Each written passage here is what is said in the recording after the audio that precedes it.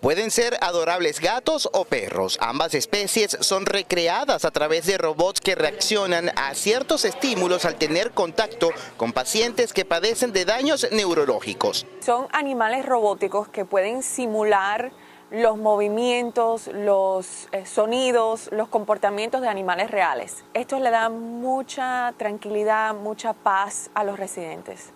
Elizabeth Martínez es directora de comunicaciones del Palace Gardens, una casa de retiro en Homestead, en las afueras de Miami. Allí unos 20 pacientes con Alzheimer, Parkinson o demencia senil interactúan con estas piezas robóticas. Se recuerdan eh, a esos tiempos que ellos también tenían sus perritos, sus gaticos, les dan mucho, eh, ellos, ellos les dan amor, cariño a esos animales como si fueran animales reales. Esta alternativa de terapia fue adaptada a Florida por los propietarios a partir de la experiencia en otro recinto similar en Ohio. Inicialmente fue establecida como un programa piloto, pero ante los resultados favorables se ha mantenido. Los residentes eh, a veces tienen altos niveles de ansiedad y apenas le pones los animalitos adelante, los animales robóticos, inmediatamente se le ve el cambio en el comportamiento. Es algo increíble.